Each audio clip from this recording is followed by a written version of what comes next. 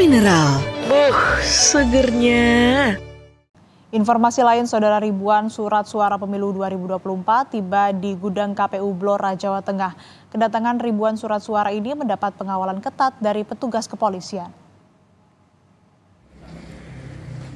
Ribuan surat suara ini diangkut menggunakan empat truk kontainer dari Kabupaten Sidoarjo, Jawa Timur. Ribuan surat suara ini lalu disimpan di gudang KPU Blora dengan penjagaan ketat polisi. KPU Blora menyebut surat suara yang datang ini merupakan surat suara untuk pemilihan anggota DPR RI, DPRD Provinsi, dan Kabupaten Kota. Sementara untuk surat suara Pilpres dan DPD masih menunggu pengiriman dari percetakan.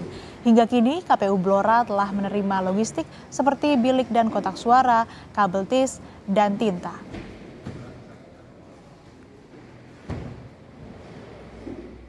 Jumlahnya kalau untuk yang DPR RI jumlahnya ada 1450 koli, kemudian yang DPRD provinsi ada 1440 koli, dan yang DPRD kabupaten ini meliputi dapil 1, dapil 2, dapil 3, dapil 4 sampai dapil 5 jumlahnya 1442 koli.